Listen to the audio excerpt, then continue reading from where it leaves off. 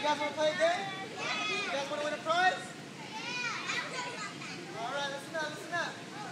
So this game is called Find the Ball. We will have three winners today. I hit three balls around this arena. The balls aren't going to be behind the inflatables, so please do not know there, okay?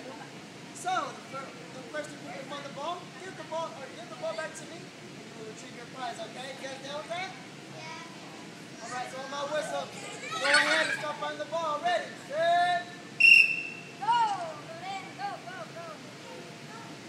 All right, the ball exactly like this. Once again, the ball looks exactly. Like this. Oh, we found ball number oh, one. Oh, they found it. Yay, good job.